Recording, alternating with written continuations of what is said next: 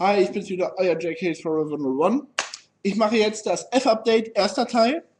Ich beginne auch gleich, da ich wieder einiges vorhabe. Der erste ist Faculty. Netter, teeny Horrorfilm mit, mit einer Menge guter Schauspieler, unter anderem Elijah Wood, Josh Hartnett, der R&B-Sänger Asher hat mir auch sehr gut gefallen in diesem Film und natürlich auch der Robert T1000 Patrick. Ähm, ja, also von den Schauspielern her ist er super besetzt, auch von der ähm, von den Effekten her super, also gefällt mir sehr und wer auf so eine Teenie Slasher steht, sag ich mal so, ähm, ist das auf jeden Fall ein kleines Must-Have, sag ich mal so. Weil der Film ist echt extrem gut, muss man schon sagen. Ist ab 16 und auf jeden Fall empfehlenswert. Hier ist dann auch nochmal dann so ein kleines Chapter Index. Ja. Super Film, gefällt mir sehr gut. Dann kommen wir zu der Videospielverfilmung Far Cry mit Till Schweiger ab 16. Uncut Special Edition. Ja, der Film ist einer der wenigen akzeptablen Boy-Filme, muss ich ehrlich sagen. Der Cast ist, äh, ja, okay. Udo Kier ist äh, ziemlich gut, finde ich. Äh, Ralf Möller, naja, okay. Ist Geschmackssache. Emmanuel Vaugier, bekannt aus Saw, finde ich wirklich super in diesem Film. Aber der schlechteste Schauspieler hier in dem Film ist der Hauptdarsteller Till Schweiger. Und da muss ich ehrlich sagen, ähm, ja. Ich habe zwar Spiel äh, nur ein bisschen gespielt, aber ich muss ehrlich sagen, dieser Film ist okay, aber als Till Schweiger als Hauptfigur finde ich jetzt ein bisschen schwach. Ja. Ist aber jetzt auch nicht so unbedingt das Must-See. Dann kommen wir zu Fantastic Four Pack mit 1 und 2, also Rise of the Silver Server, ab 12. Beide Teile in einem Schuber. So, zack. Ähm, bin auch noch am überlegen, ob ich mir die, äh, ob ich mir die auf Blu-ray hole und dann das sozusagen weggeht. Bin ich am überlegen, weiß ich noch nicht. Aber auf jeden Fall, diese Version ist erstmal ziemlich gut. Äh, beeindruckende Special Effects, gute Schauspieler, einfach an die sexy Jessica Alba. Also mag ich sehr, die Filme. Aber ist auch wieder Geschmackssache.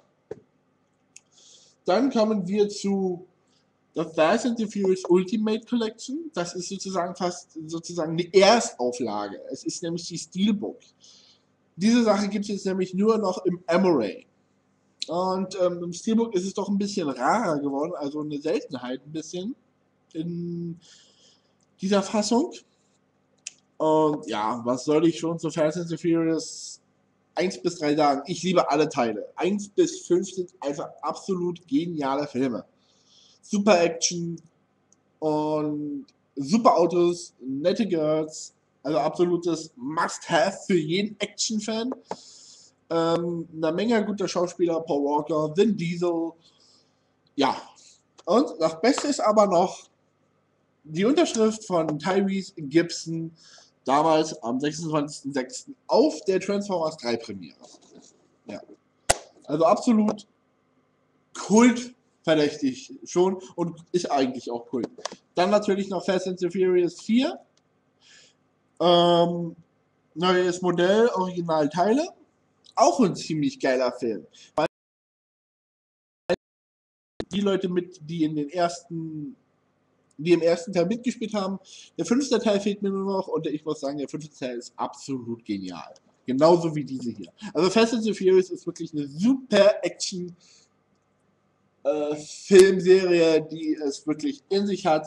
Heiße Wagen, heiße Weiber und heiße Action. Also so kann man das in Kurzform mal sagen.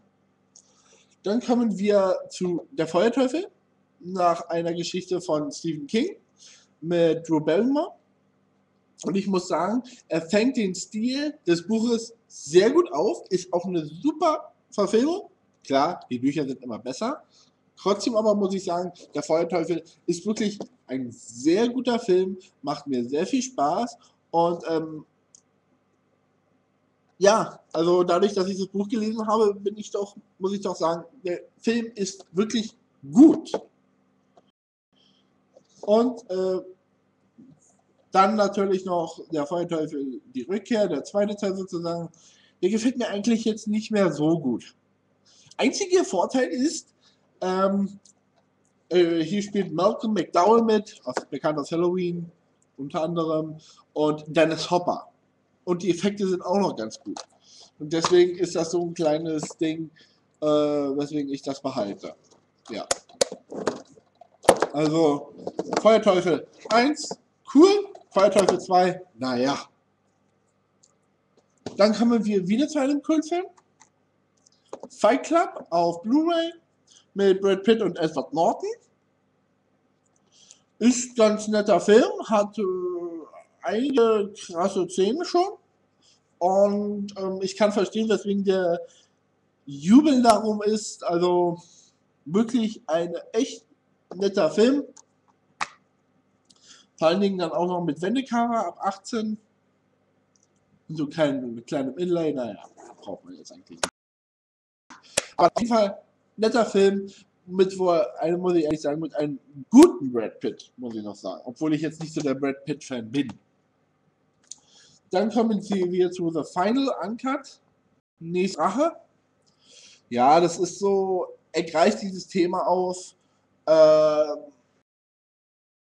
dieses Mobbing an den Schulen und äh, die Außenseiter rächen sich dann, also so ist das kurz erklärt, ähm, ist jetzt kein unbedingtes Must-See. Ich habe ihn mir nur damals geholt wegen dieser, ähm, eben wegen dieser ähm, Sache. Wegen dieses Themas, genau. Und deswegen äh, habe ich mir den geholt. Er ist nicht schlecht, aber es ist kein unbedingtes Must-See. So, da gibt es bessere Folterfilme.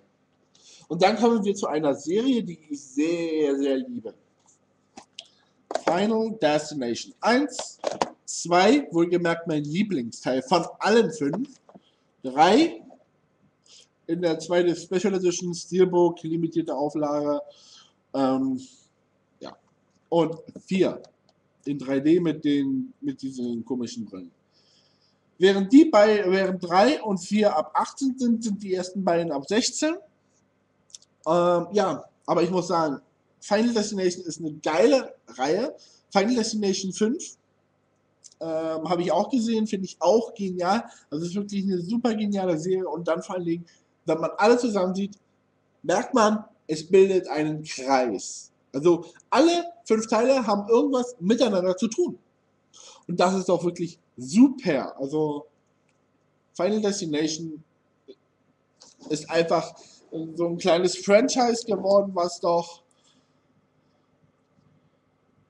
äh, nicht hohe Namen gemacht hat und äh, vor allem voran natürlich, zwar sind die Stories immer gleich, welche überleben und werden nach und nach gekillt, allerdings ist bei Final Destination eher weniger die Story im Vordergrund, sondern mehr die Kills. Und deswegen muss ich ehrlich sagen, die Kills sind absolut Hammer in Final Destination.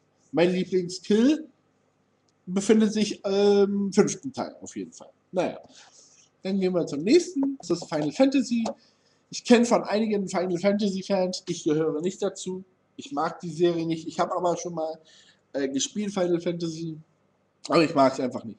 Aber ich kenne von einigen Final Fantasy Fans, die den Film wirklich nicht so toll fanden.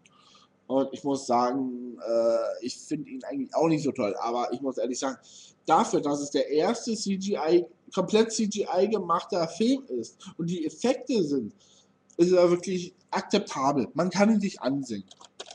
Aber wie gesagt, ja, das ist mein Fazit sozusagen für mich.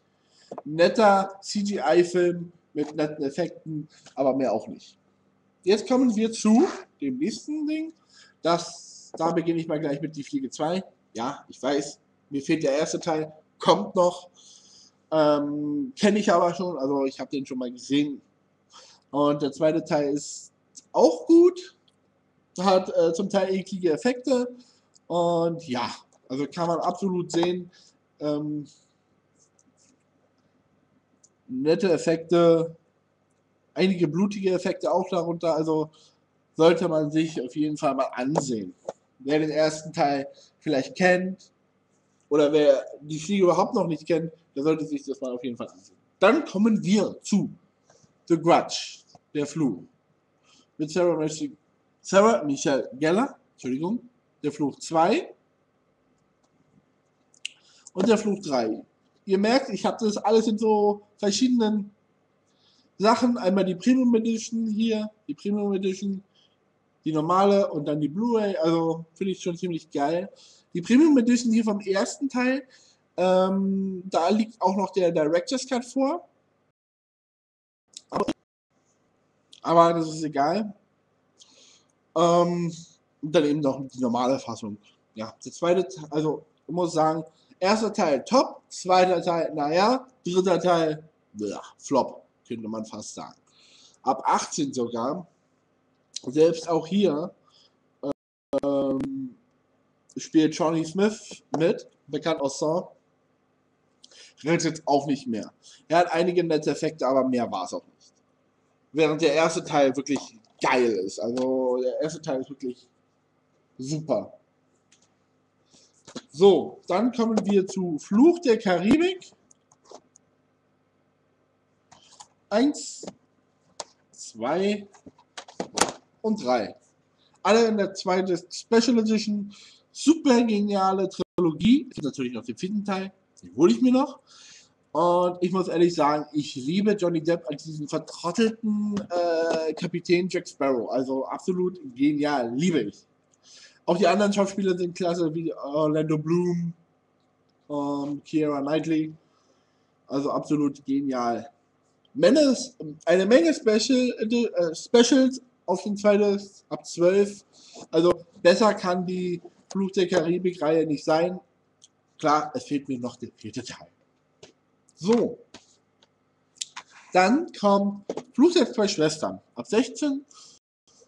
Der Stil ist geil, er ist schon düster, er macht, hat schon, er hat nette Schauspieler und muss ich sagen, ist schon ganz nett, finde ich. Hat auch einige gute Effekte, aber ich finde ihn jetzt zum Mal gucken ist er okay. Ja, wie, wie ihr seht aus Videothek mit ein paar anderen Filmen. Ja.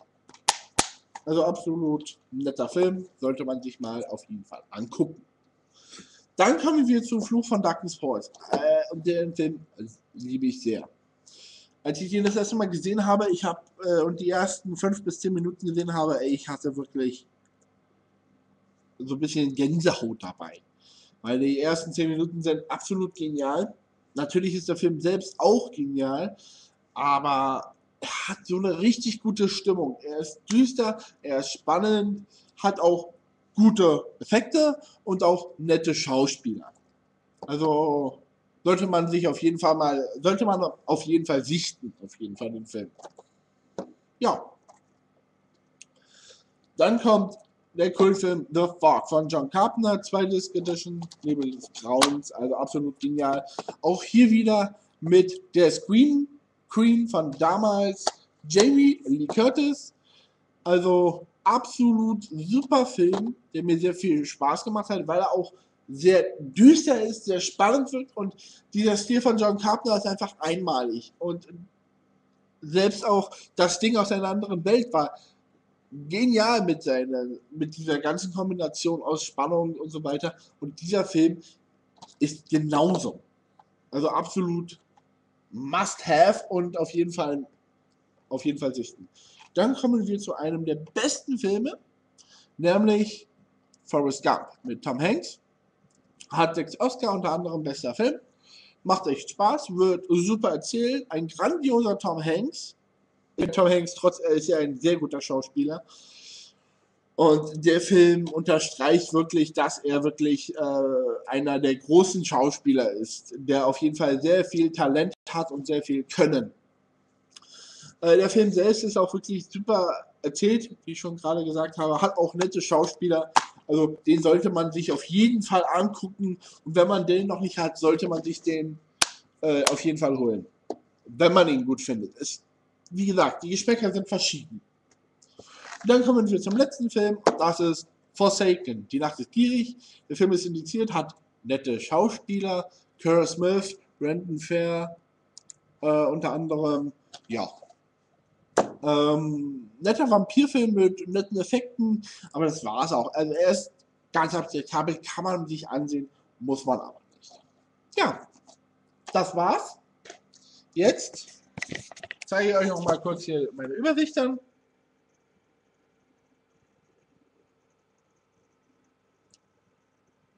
Ja, ich hoffe, es hat euch gefallen. Macht vielleicht Kommentare und bis dann.